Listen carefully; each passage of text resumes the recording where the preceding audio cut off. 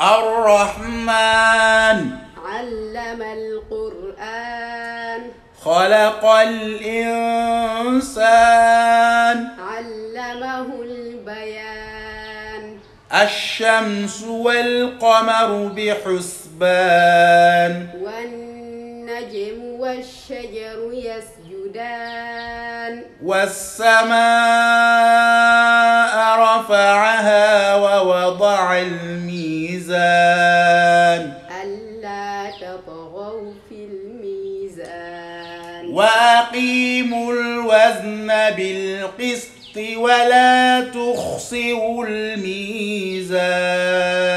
والأرض وضعها للأنام. فيها فاكهة والنخل ذات الأكمام. العصف والريحان. فبأي آلاء ربكما تكذبان؟ خلق الإنسان من صلصال كالفخار. وخلق الجان